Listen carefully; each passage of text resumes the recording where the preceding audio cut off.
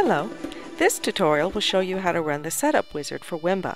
It assumes that you have already installed your microphone headset and ensured that it's working properly. You can run the setup wizard from any room in Wimba and remember you only need to run the wizard once. When you enter your Blackboard classroom you'll notice in the left sidebar menu something that says Wimba or possibly it'll say Live Classroom or it may even say Wimba Live Classroom. Once you find that link, click on it to go into the Wimba room. Once in the lobby of Wimba, you need to find the room that your instructor has told you to enter. But for today's purposes, what we're going to do is we're going to enter a room called Your Wimba Classroom. Once you click on the room, you'll be taken to the setup room. From there, you can go over to the right and find a link that says Setup Wizard. Click on that. Another window is going to open that says Welcome to the Setup Wizard. To begin your Setup Wizard, all you need to do is click on Start. You may get a pop-up blocker message warning you that you cannot use the wizard. What you need to do is to click on Options and select Allow Pop-ups for this particular address. Once you've done that, go up here to Retry Test and click again.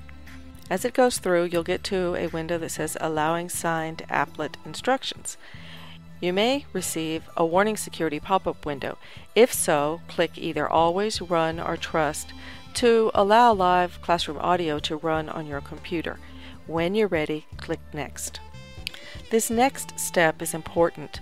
You need to make sure that the audio playback has been properly installed. You will notice that over here you see colorful bars going up and down.